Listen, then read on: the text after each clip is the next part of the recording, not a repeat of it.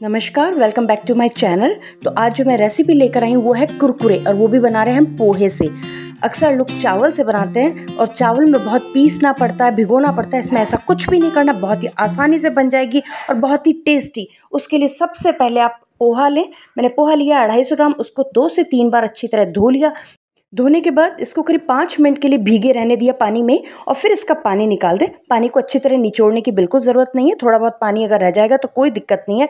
इसके बाद हम इसमें डालेंगे अदरक और हरी मिर्च। उसे आप कद्दूकस करके भी डाल सकते हैं या छोटा छोटा काट के भी डाल सकते हैं और थोड़ा सा इसमें डालेंगे हरा धनिया। वो भी बारीक काट लें और इसमें मिक्स कर दें।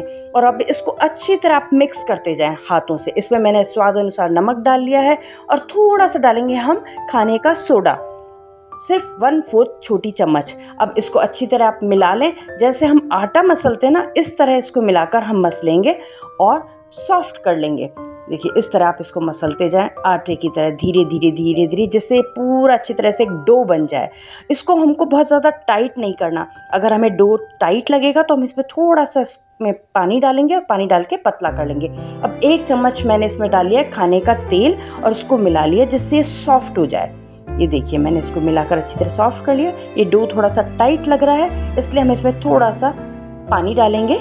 मुश्किल से तीन चार चम्मच या आधी कटोरी कर, करीब, और इसको थोड़ा सॉफ्ट कर लेंगे। अब कोई भी थैली ले लें। मैंने मोटी थैली ली है, दूध वाली, और इसको एक साइड से काट कर उसमें थोड़ा सा ये डो डाला, और इसको ऊपर से हम रबर बैंड से इसका मुँह बंद कर देंगे।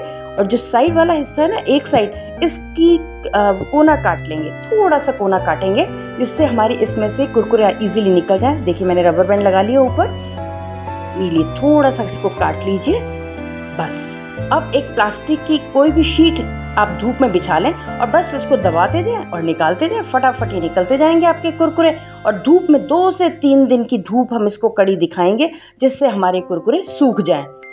ये लीजिए, मैंने सारे कुरकुरे बना लिए हैं। फटाफट, मुश्किल से पाँच मिनट लगता है। पंद्रह मिनट में आपके सारे कुरकुरे तैयार हो गए। ना आपको भिगोना पड़ा है चावल को, ना आपको पीसना पड़ा है, कुछ भी नहीं करना पड़ा, ना ही पकाना पड़ा। ये तैयार हो गए और ये ले लीजिए। दो दिन में कड़ी धूप में करारे सूख गए हैं। अब तेल गरम कीजिए। जब तेल गरम हो जाए अच्छी तरह, तब उसमें थोड़े थोड़े ये कुरकुरे डालें और धीरे धीरे अब इनको झरिए से हिलाएँ जिससे सारे के सारे कुरकुरे तलकर ऊपर आ जाएँ। जब अच्छी तरह ये ऊपर फूल जाए, तब इनको किसी प्लेट में निकाल लें। और जब तेल तेज़ गर्म हो जाए, तब इसको आँच को थोड़ा मीडियम कर दें, जिससे कि आपके कुरकुरे जलें नहीं। देखिए, सारे के सारे ये सिक्कर ऊपर आ गए। अब इन्हें किसी प्लेट में हम निकाल लेंगे।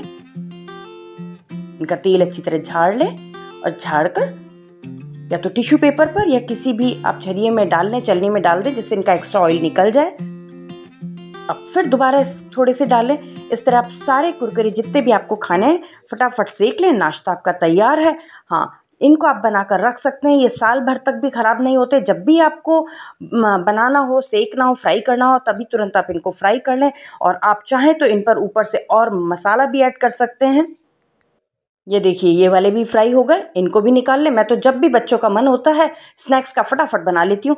हो गए ना कितने फ़र्स्ट क्लास कुरकुरे तैयार? आप भी इस रेसिपी को ट्राई करके देख सकते हैं। अगर मेरी वीडियो अच्छी लगे तो मेरे चैनल को सब्सक्राइब ज़रूर से करें और लाइक शेयर करना बिल्कुल ना भूलें। Thank you